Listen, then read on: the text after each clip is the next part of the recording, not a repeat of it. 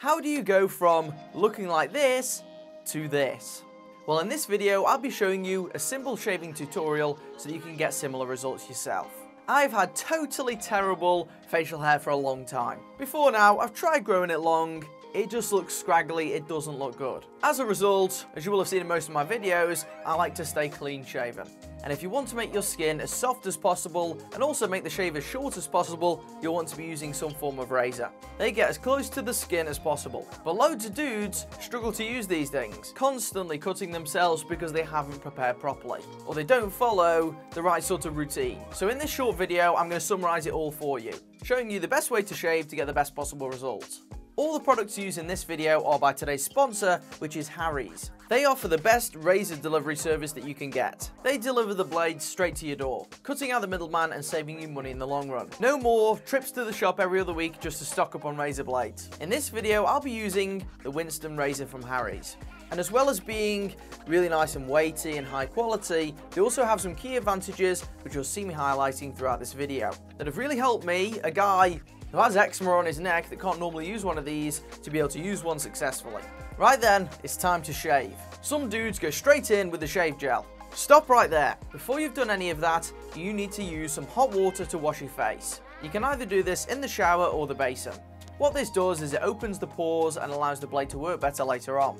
It's at this point that you can also use some form of exfoliant such as the Harry's face wash. Now the reason I like to put something on just before I put the gel on is because it allows the gel to sit on the surface later. It also helps your skin to be healthy, clean and removes any dead skin cells, so you might as well do it at the same time. Once more, I'm going to rinse this off with hot water, because if I rinse it with cold at this step, then it's going to negate the whole effect of what I've just done. Okay, so my face is warm, washed and damp. It's time to apply the shave gel. This is going to help the shave to be as smooth as possible.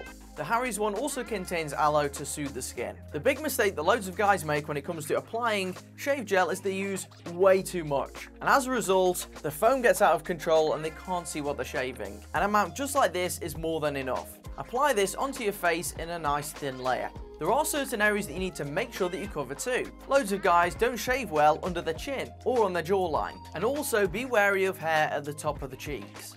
Loads of guys seem to miss a spot and they have hairs left over right here.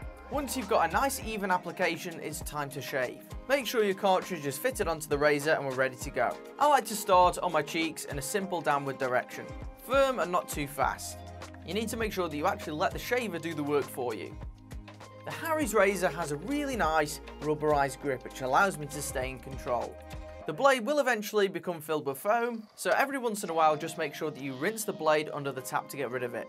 This just ensures that you can be as accurate as possible and that the blades won't be clogged up for the next swipe. Once this area of the face is done, I like to go onto the neck. This is the area that before now I've really struggled with when it comes to razors. I've got a really aggressive patch of eczema that's been persistent here for years. Nothing will seem to kill it off. And as a result, with pretty much every single razor that I've used, it's only stimulated it and made it look worse. Razor burn and eczema are never a good combination. But as you can see, I've had no problems at all with the Harry shaver and the gel. The neck is also an area where hair grows in all sorts of directions, and with the Harry's razor, I haven't even had to worry. The shave is so smooth, I can go with the grain or against the grain with no problems. I'm left with a really smooth and satisfying result. If I haven't managed to cut myself with one of these, then you aren't going to be able to either. I'm normally pretty clumsy when it comes to shaving. In fact, I had very little problems when it came to under the nose area and around the chin.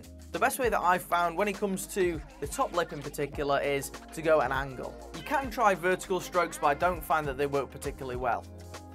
If you go in sideways, it just seems to work better. It's far, far quicker and gets the job done. You just need to make sure that you've got blades that are sharp and capable enough to do the job. And I also attack the chin in a similar manner. For different areas of the face, including around the chin, you can attempt to you know, pull and stretch the skin to make it smoother, but with the Winston razor, I find that it's pretty smooth anyway. Just take your time around here because if there's anywhere that you're going to cut yourself, it'll probably be around your chin. Once I've rinsed the main parts of my face, I also use the additional edging blade on the top of the shaver, and I just chop off the excess bits of the sideburns. So congratulations, the main bit of your shaving is done, how do you finish it off? I've tried a huge range of different types of aftershave balms, including even one that Harry's sent me themselves. And this was fine, but it wasn't as good as one of their brand new products. They sent me the post-shave mist, which is due for release today, the day this video goes live. A brand new product, and I can tell you, it is well worth the money. Much better than any of the other balms I've tried before. You just spray the shaved areas using some of this, and I have to admit, it's a bit odd spraying yourself in the face with something. This one's got a bunch of different botanical extracts in, and it just does the job. As soon as it touches the skin, you can feel it calming your skin straight away. And it refreshes it, and it leaves it feeling refreshed. Lots of the balms I've tried before, you apply, it works initially for the first two minutes, and then it's just back to normal again. The post-shave mist leaves a lasting soothing effect. I can see why they're so hyped up about this one, and it completely nullified any of the irritation from my patch of eczema as well. You can't ask for more than that in a post-shave product. Once you've applied this stuff, you are sorted. Your face has never felt more like a baby's bottom. Super smooth, close, and really hydrated still. That's how to shave your face using a razor. You'll find links to the Harry's post-shave mist as well as all the rest of the Harry's products in the link in the description.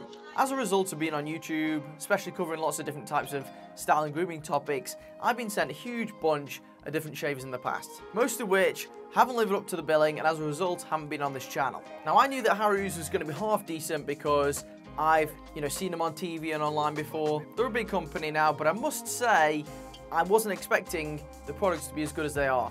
And that's the reason I'm so happy to have teamed up with them for this video. Because I know that once you try these things, you won't be disappointed for yourself. The trial set starts from £3.95 if here in the UK. I think they sell to some areas of Europe and to US too. And for that price, you've got to at least give it a shot. If you're using something like a Gillette, then this just works out way cheaper and you get a razor that frankly is a lot better quality. It doesn't also look like anything out of the Transformers movies, which helps too. What razor do you currently shave with? Let me know in the comment section down below. If you found this tutorial useful, make sure you press the like button. And if you want to see more videos on how to style your hair and what to wear, then make sure you press the round subscribe icon as well.